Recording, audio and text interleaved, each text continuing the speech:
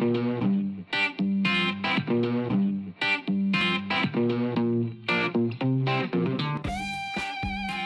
everybody, Dave Clark, aka the Pattern Guy here again. Um, this week I'm going to show you some hand tools that we use specifically for pattern making. Um, like I said, I do things old school, everything's by hand. I do have a CNC machine that's not working, but um, still do everything old school. I want to teach you the old school method. Um, one of the points being I talked about my old foreman, old German guy. Uh, when I was an apprentice, we used to make what's called boards for the patterns, cope and drag boards. And all we did was we took two inch thick mahogany out of the lumber rack, ran them across the planer, put them down on our bench, put battens across them, flipped them. Well, they're not flat. So in pattern making, everything's going to be perfectly flat. So we had a big machine, it's called a pattern mill. The older guys would take their boards over the pattern mill and surface everything nice and flat. Well, Joe, the old German guy, used to make me take out the joiner hand plane, okay? And what we used to do is used to grab a flat board, like a stick, put chalk on it, rub that board wherever the chalk hit, and I'll show you this down the road, we'll do one.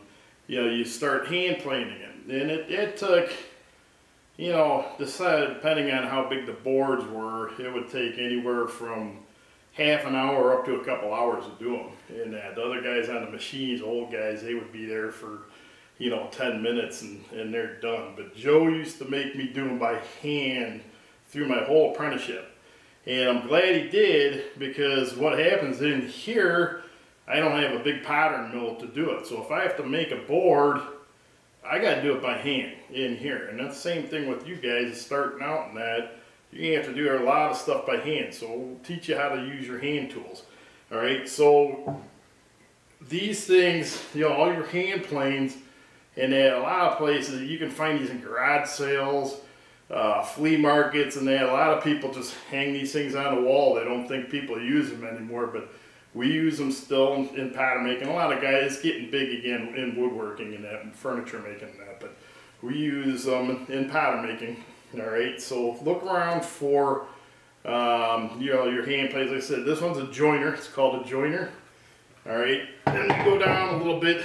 Some people call this the number five, or a lot of people call it a jack plane.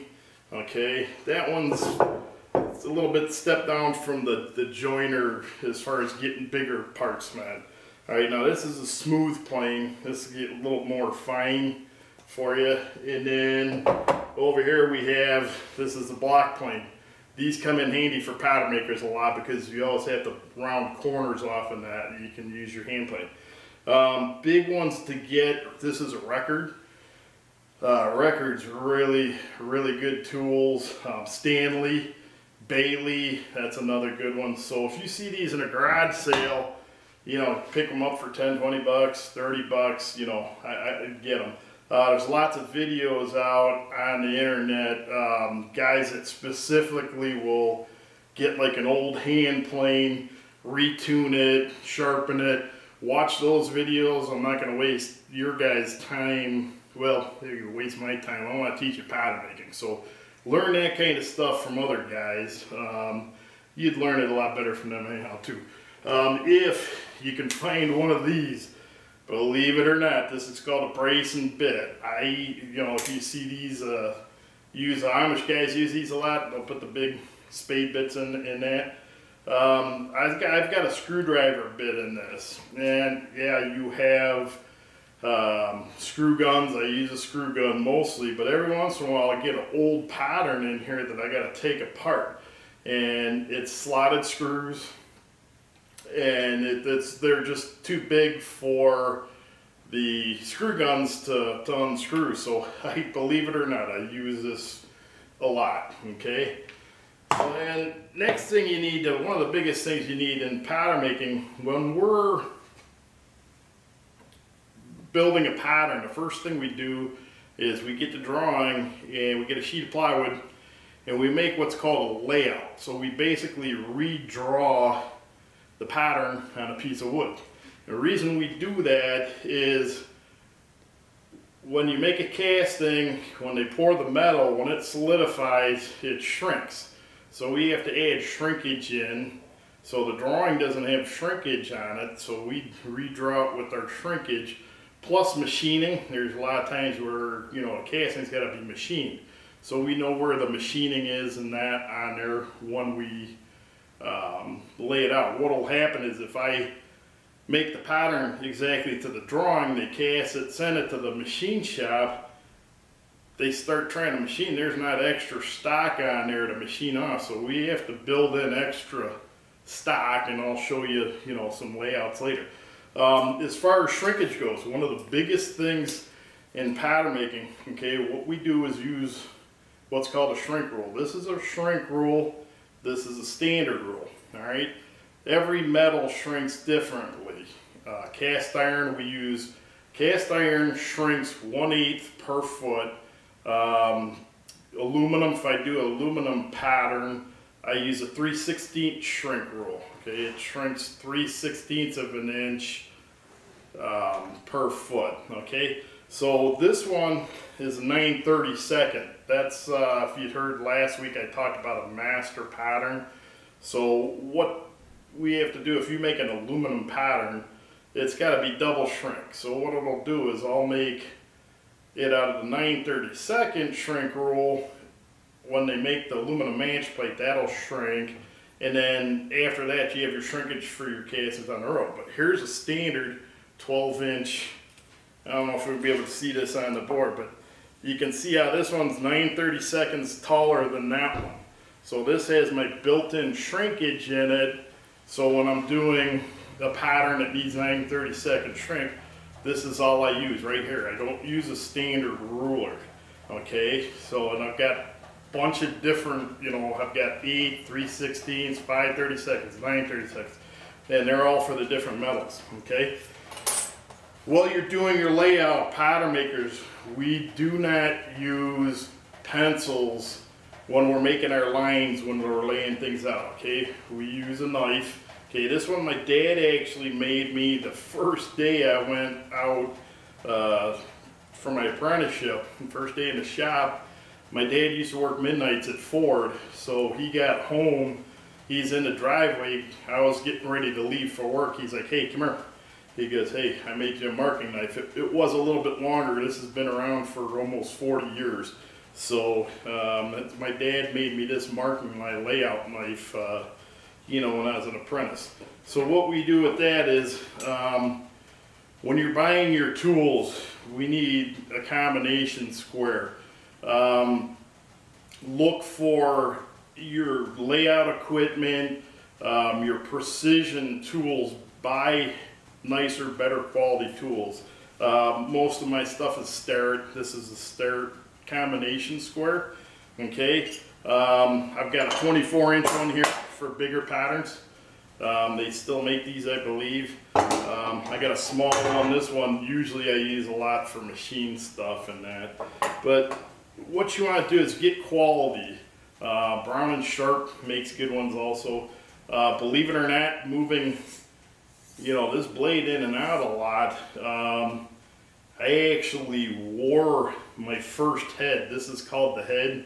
This is called the blade, all right? I actually wore my first head out that I, I bought when I was uh, when I was going through machine trades in high school. I bought a tool kit. They had a Starrett combination square in there. And over the years, running it in and out, taking my blade in and out, um, you take them out. This is a protractor. We need these uh, for pattern making, like I told you, we need to put draft angles on there. So you need your protractor. Um, when I first started doing uh, pattern making, I had the one blade. I had the protractor head, the square head, and another one. It's called a centering head. It's V-shaped, So you can put it over a cylinder get the center on it. So I only had one blade. So if I wanted to use a protractor, I'd have to take the blade out put it in the protractor. So in, in doing that, taking it in and out, I wore my head out. So yeah, you don't want to get some cheap, you know, square from Home Depot. It's important that you do things to do them square, okay? So spend a little bit more money on your precision equipment. All right, um, these are dividers, not compass. Bigger pair, smaller pair. Um, a lot of times, same thing. You find these in garage sales. People don't know what they are. Um, you know, flea markets and that. A compass has a point and a pencil. These have two points on them. Okay, so when you're doing your layout, you can get your center point and then you scribe just like we're using a knife. Okay. Um, this this one to do big circles. Actually, this is called. Um, oh, popped out of my head. But I'll tell you in a second. My dad actually made these uh, when he was an apprentice, and that. In um, you know they've been around for for quite a while. So I use these and uh, trammel points. Just popped in my head again. Um, these are called trammels. So my dad made these. Um, you can actually get the uh, scribes separate and then what you can do is you'll put a board in them and make them so that you can you can do like six eight foot circles. Beyond that the board starts flexing so it's it's, it's kind of hard but you know these are nice. He made a nice steel rod. So then for doing parallel lines on your layout or on your patterns and that instead of measuring from your edge up 10 inches from your edge 10 inches and scribe a line we have what's called this is a thumb gauge. Some guys call it a marking gauge. Okay, so this will rest on your square edge and then this end will mark. Um, see, this one's a little bigger. Uh, panel gauge, okay, I'm gonna make a bigger one out of wood, so maybe we'll do that as a project down the road and uh, make a nice maple uh, panel gauge, okay, the big ones. Then we go to our real precision equipment this definitely you want to get Starrett, Brown and Sharpe. Uh, Mitutoyo, you know, they they do good stuff. I have a couple of theirs also, but I, I rather do the Starrett and Brown and Sharpe in that. So um, micrometers. And, and here's the thing. I'm going to teach you as much as I know. Been in this field for forever, for a long time, almost 40 years professionally. Okay, uh, I thought I know everything. Uh, I still learn things. I'll be on YouTube and, and, and learn new things and that. So actually, there's a young girl, real quick. Uh, I'm gonna ramble real quick here. Um, I was on a couple weeks ago, okay, and a young girl. She she has a channel. She does uh, projects, and she's self-taught. Everything self-taught. She started a, a YouTube channel and that. So she had one of her videos was about tape measures. I'm like, yeah I know everything there is about tape. I've been doing this. Nobody can teach me, you know, pointers on tape measures. So she had 10 different little pointers. Four of them I didn't know. I, I was embarrassed, okay? So back to the precision equipment, okay? I've been in this trade for, like I said, close to 40 years professional. I've never seen this small set of micrometers. My dad just happened, I was over my dad's a few months ago he pulled these out of a drawer. I've never seen a micrometer that small, but it's pretty cool. So these are micrometers. Okay, these go, believe it or not, you can do feet with these things. They've got different sizes of them, okay? Um, usually you get, I've got a set like one inch to six inches. That usually suffices. All right, then you get calipers. These are dial calipers. Um, they obviously have a dial on them these are what's called vernier calipers. Okay, there's no dial on them. Uh, nowadays they have digital ones in that. These actually just have increments. And one, one day we'll show you how to read these because uh, these actually have the increments on them. Like, you know, we'll have to teach you how to read, read the micrometers too. It's a little bit of a trick to these, you know, same thing with these. Thing with these versus your dial, okay, my first first place of employment, uh, man, so work for Precision Mold and Paint. I got to clarify this too. We are attached to Arrow Aluminum. I always say Arrow Aluminum. Arrow was owned by the brother. Precision was owned by the sister. I actually work for Precision. I always just say Arrow Aluminum. We had a mold shop and we had a wood pattern shop. I used to work in the mold shop a lot because I knew how to run all the machines in there. If they needed an extra guy, I'd, I'd, go run over there. If we were in a pattern shop, uh, slow in a pattern shop, you know, we'd go over there. Um, the machine shop boss over there, he would not let you use dial calipers or, you know, they were just starting to get into the digital. Because his belief was every once in a while you'll see too that the dial kind of gets out of sync a little bit so you're not doing correct measurements right? So with these verniers there's no way for you to do that. I mean that's what it measures that, that you're going to measure okay? So he's a little stickler on that uh, dials are fine you can, there's other ways you can check things and that so um, another thing we use a lot is chisels and gouges um, second place I worked at, the guy wanted us to use die grinders all the time. Um, old German guy, you know, you get a die grinder out die grind wood or a file. He'd be, oh, you know, there's a thousand pattern makers rolling over in their graves, you using that. Um, second guy I worked for, he believed that you could remove stock quicker with a die grinder and a sander pad on it. I agree with sometimes you can. Um, there are other times if you learn how to sharpen your chisels, gouges, and hand planes, and that really good, and that's the key. Um, there again, there's a ton of guys out on uh, on YouTube that, that have awesome sharpening uh, lessons and that. Do do those guys because mine I don't sharpen that you know that much. I don't carve a lot. Okay, so learn how to sharpen from those guys. But anyhow, a lot of times I could really take off with a good sharp gouge or a good sharp chisel. I could take more stock off than a die grinder can really quick. And we actually I made the, the guy a bet and I, I beat him. So he let me keep my chisels and gouges. So anyhow, I'm not going to go over all the chisels and gouges. This is one of my favorite. This actually belonged to my great grandfather. Okay, so this chisel's probably over 100, it's way over 100 years old. Okay, it's called a paring chisel. This is one of my most go-to chisels I have. Okay, one of the things is if you find chisels and gouges, again, look for quality, old Sheffield steel. If you see Sheffield on the label, get it. Sheffield, England, they made the best tool steel in the world for the longest time the old ones. They're not around anymore. I heard they're coming back, but I'm not sure. But if you can find old chisel or gouge with Sheffield on it, snatch that up real quick. See how long this is? Uh, most of my other chisels and that, they're shorter. The reason this one's longer and it's 100 years old, I barely ever have to sharpen this. This thing holds an edge like you wouldn't believe. All right, so chisel, you know, it's got a flat edge. Then we have our gouges. The gouges, actually have a concave, con, they're concave, okay? So you can get into, you know, concave surfaces.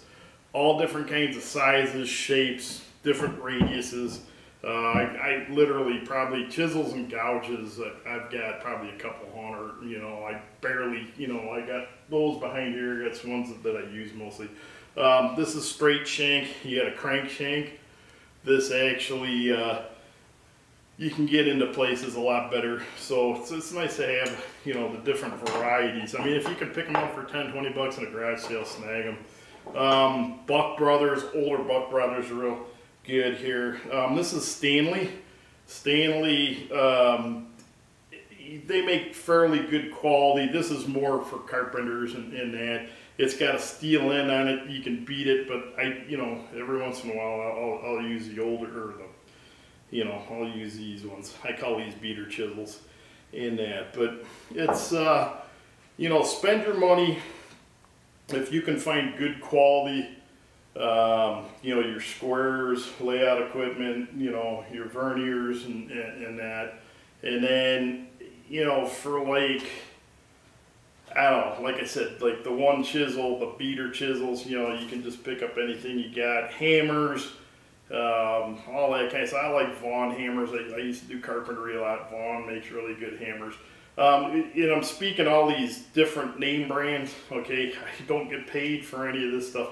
This is equipment I've been using for the you know 40 plus years I've been doing this. So it's I'm just telling you what I use, what I've had good luck with, what other people have used in that, and uh, you know, the better things. If I say something, I did say, you know, Grizzly doesn't make good equipment. They, they make good equipment, but it's not something that I, I, I wouldn't, you know, if I can get into a bigger shop, which I, I want to eventually, you know, I want to have all nicer equipment and that. You know, they make fine stuff, good stuff to get started in, but it's, uh, like I said, it's just, it's lower quality. It is. It's not going to last you as long. Um, you know, you want, like my joiner over there, that's, what, almost 100 years old. And, and that's probably the best machine in the shop here. So you want to get good quality things that'll last you. And, uh, yeah, I want to get into political stuff, but too, get, get stuff, you're getting into the manufacturing business get stuff that's made in this country as much as you can, you know, because you're just going to keep yourself in, in business a little bit longer in that. And, and that's, I don't want to do the politic thing, but, you know, you want to, you know, try to keep yourself in business doing this stuff. So um, that's a lot of the hand tools we're using. I'll start getting into making some patterns and that, and, and then we'll go over, you know, a little bit more how we use them and, and things like that. So, uh, till the next video, and everybody have a good one out there.